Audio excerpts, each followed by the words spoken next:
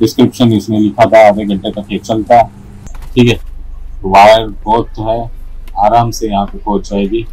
मतलब हमारे पाँचों टायर आराम से एक ही पोर्ट में घुमा घुमा के हम कुछ बटन से यहाँ से आप प्लस माइनस कर सकते हो, आप प्रेशर को इंक्रीज डिक्रीज कर सकते हो।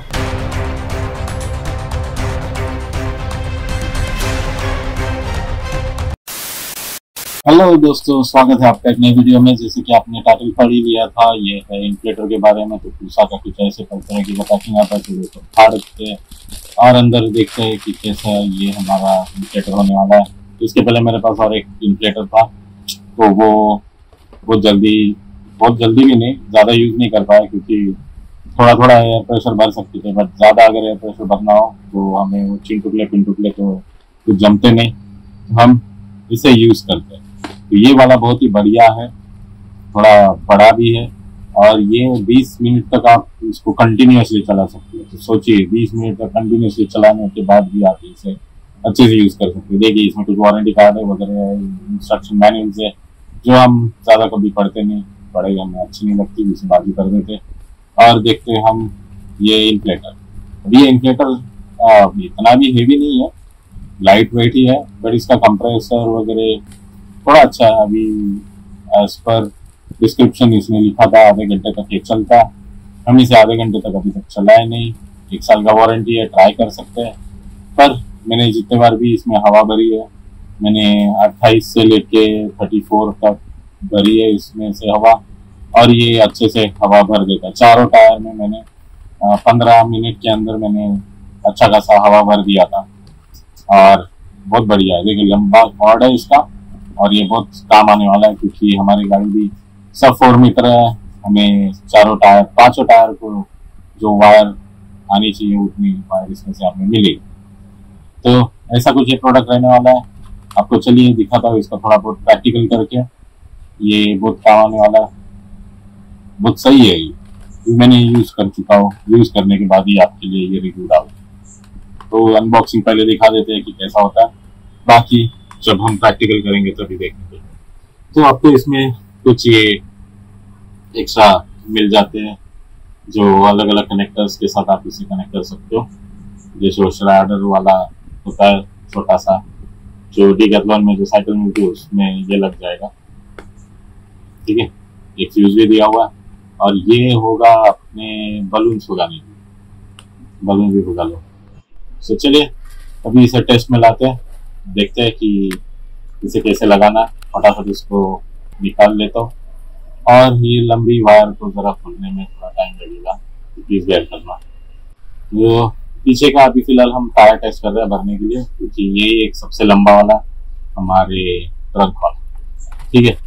वायर बहुत तो है, आराम से यहाँ पे पहुँच जाएगी। मतलब हमारे पाँचों टायर आराम से एक ही पोर्ट में घुमा घुमा के हम इसे यूज़ कर सकते हैं। यहाँ पे ये महिंद्रा का पोर्ट थोड़ा हल्का कोई बात नहीं, चलिए हम स्पेयर व्हील निकालते हैं। स्पेयर व्हील निकालने के लिए भी थोड़ा टाइम चले जाएगा। हमारे पास एक टूल है, थोड़ी टॉमी ऑन हमारे पास ये इम्पैक्ट रेंच है, चलिए इसे फटाफट निकाल के हम इससे इजीली हमारा ये बोल्ट खोल सकते है। ना? कुछ ही सेकेंड लग गया, देखिए, हो गया खुल गया ज़्यादा ताकत मेहनत करने की ज़रूरत चलिए इसे खोलते हैं। ठीक से खोलना है, वरना तोड़ दोगे। ठीक है। और हाँ मेरे पास एक एडिशनल एक्सटर्नल प्रेशर गेज भी था, जो मैं काफ़ी साल से यूज़ कर रहा हूँ। देखिए, इसके ऊपर का अच्छा खासा रबर भी खराब हो चुका है, पर अभी भी ये चल रहा है। और बहुत सही सही वाला है। और गाड़ी शुरू करना मत भूलिएगा, बिना गाड़ी शुरू करिए इसे मत चालू करिए। देखिए, आपको टेस्ट करके दिखा देता हूँ। देखिए अट्ठाईस ही है। ठीक है, फिर से एक बार चेक करते हैं। अट्ठाईस। अट्ठाईस पी एस आई और ये पी एस आई में हम इसे यूज़ करें देखिए, ये फ्लैश लाइट्स है। कुछ अंधेरे में अगर आपको काम करना हो, कुछ करना हो, ये इन्फ्लेटर आप निकाल के यूज़ कर सकते हो, बिंदास। ऐसे कुछ रहने वाला है। और यहाँ पे कुछ बटन है। यहाँ से आप प्लस माइनस कर सकते हो। आप प्रेशर को इंक्रीज डिक्रीज कर सकते हो। थर्टी फोर अभी भर के रखता हूँ। और ये इन्फ्लेट करने वाला पाइप ये भी बहुत ही लंबा है। और ये सच में बहुत ही अच्छा होगा, क्योंकि देखिए नीचे एक फुट स्टेप पे रख के इसको यहाँ पे टाइट कर रहा हूँ। तो अच्छा खासा लंबा है। तो आपको इसमें एयर फिल करने में कोई भी परेशानी नहीं होगी।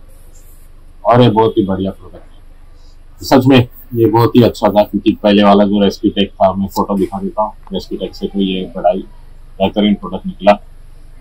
चलिए इसको शुरू करते हैं और देखते हैं कि कितने टाइम तक ये भर देता है। बट मेरा कैमरा बंद हो चुका है, इसलिए मैं ठीक से इसको बता नहीं पाया।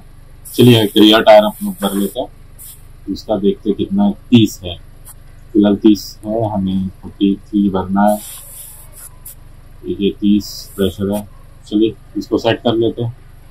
थोड़ा ज़्यादा ही भर लेते पॉइंट फाइव एक्स्ट्रा ही कर लेते देखिए, जैसे आप इसको कनेक्ट करते हो आपको एग्जैक्ट प्रेशर लगता दिखा देता है। और आपको मैं टेस्ट भी करके दिखाऊँगा कि ये प्रॉपर प्रेशर है या गलत प्रेशर है। देखिए, तीस है थर्टी पॉइंट फाइव आया ये पूरा टाइट हो चुका है। चलिए इसे सेट करते हैं। थर्टी थ्री और इसे चालू करते हैं। ये टाइम देखते हैं कितने टाइमिंग होता है। आपको फास्ट फॉरवर्ड कर दिया। तो